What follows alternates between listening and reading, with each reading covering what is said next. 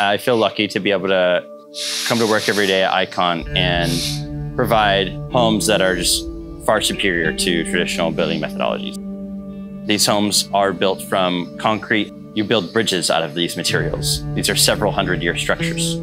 And so when somebody purchases one of these houses, something that they realize living in it is that it is definitely a superior product. My favorite part about uh, working with the print operations team is that I get the opportunity to work with a large number of people with all types of backgrounds.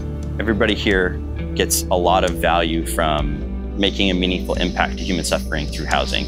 When we build a home, I think that most of us have that in mind as we're printing layer by layer. And you can see the passion in people's eyes, like when you're working with them and they seem to like really get a lot of satisfaction from doing what we're doing. My favorite response is we can do that like as a question of humanity like we can as humans build houses with robots. And that's a lot of fun to see that response and and to get to respond yes that's that we, we do this. I spend every day building houses with robots